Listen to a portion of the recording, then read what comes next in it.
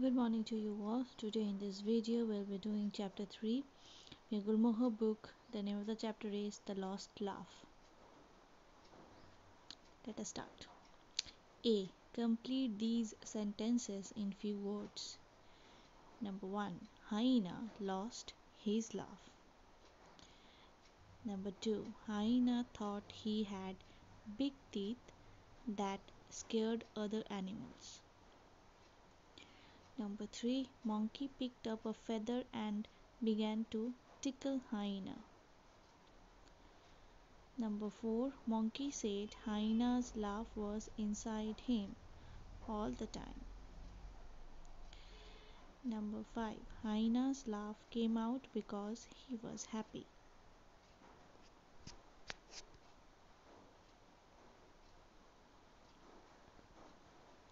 Next. B. Complete the second sentence with the correct words given.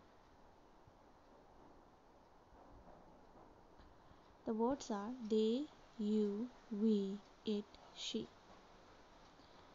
1. Varun and I are out in the park. Full stop. We are playing with friends. Number 2. Sumi is in Nagpur this week. Full stop. She is visiting her grandparents. Number 3. Listen carefully, children. Full stop. You must all come to school on Saturday. Number 4. The sun is high in the sky. Full stop. It is shining brightly. Number 5.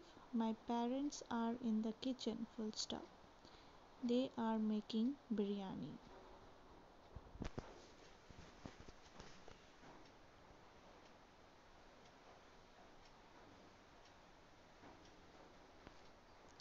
Thank you and be safe.